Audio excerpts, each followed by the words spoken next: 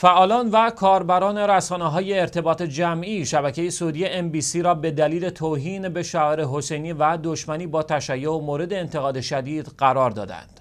حمله گسترده فعالان اجتماعی از شب گذشته و پس از پخش دومین قسمت از سریال موهن و سخیف سلفی از شبکه سی آغاز شد. لطفا کمربندها را ببندید آخرین توییت ناصر القصبی بازیگر افراطی درست دقایقی قبل از پخش این قسمت سریال سلفی بود. برخی از کاربران شبکه های مجازی خواستار مجازات این بازیگر و شبکه MBC به علت اهانت به میلیون ها مسلمان و پیروان مذهب حقه تشیع شدند.